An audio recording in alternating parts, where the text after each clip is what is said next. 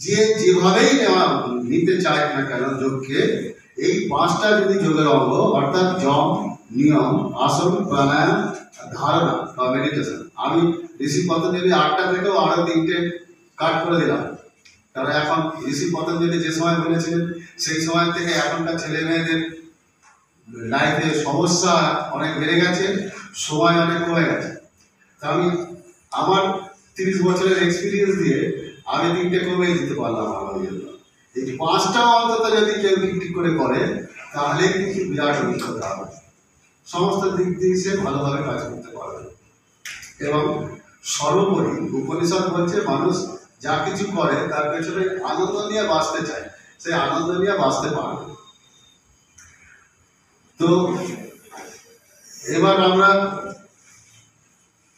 Madam break আছে কি? কোনো যুক্তাহার বিহারস্য যোগচেষ্টস্য কর্মসু যুক্ত স্বপ্ন বোধি বোধস্য, যোগ ভবতি দুঃখ অর্থাৎ আহার, বিহার, কর্ম, নিদ্রা ও জাগরণে যিনি সমতা রক্ষা করিয়া চলেন, কেবল তারই যোগযুক্ত জীবন এবং দুঃখ বিনাশী জীবন হবে।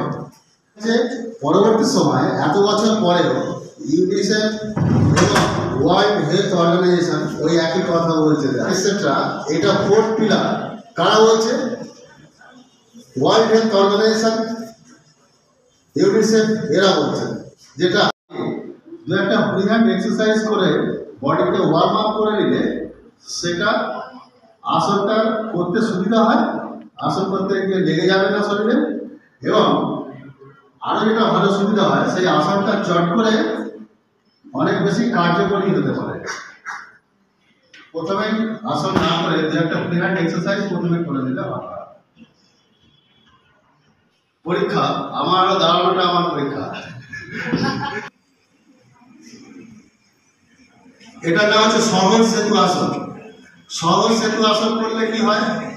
কোমরের ব্যথা কি হয়, পায়ের জোর বাড়ে হার্ট লাংস ভালো থাকে হার্টের শক্তি বাড়ে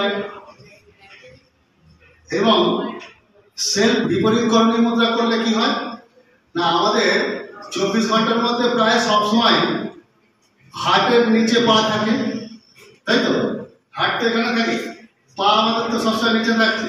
এই একটা পশ্চারে এইটা সর্বাঙ্গাসন তারপরে মস্তক মুদ্রা বা শীর্ষাসন, এই পশ্চারগুলো করলে কি হয়? তখন এটা অন্য কোনো ভাবে করা যায় না। আমরা সারাদিনে যে হাঁটছি, বসছি, শুচ্ছি, অন্য কোনো উপায়ে কিন্তু অত ভালো ব্লাড সার্কুলেশন করানো যাবে না সারা শরীরে। বিশেষ করে চল্লিশের পর থেকে এইটা করলে যতটা করা যাবে। এবার কি বজাসন এবার কি বজাসন বজ্রাসন বজ্রাসন করলে কি হয়? না, পা কোমর বজ্রের মতো কঠিন হয়। মেরুদণ্ড শক্তি সমর্থ হয় ভালো। কনসেন্ট্রেশন পাওয়ার বাড়ে। আর অন্য যে কোনো আসন করার জন্য যে flexibility mobility mental stress tension নেওয়ার যে যোগ্যতা, সেই যোগ্যতাটা অর্জন করা যায় আমি শুধু বলে গেলাম সেটা কিন্তু নয়। আমি শুধু বলে যাওয়া মানে একটা সেমিনার